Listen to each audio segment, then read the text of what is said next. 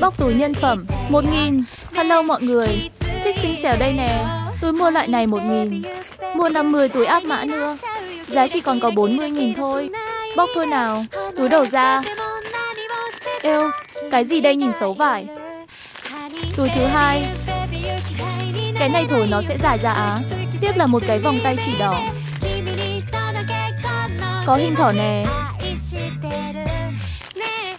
Lại nữa, xấu ghê. Dây có hình rắn nha. Con hổ hay sao á? Cái này nhìn lạ lạ.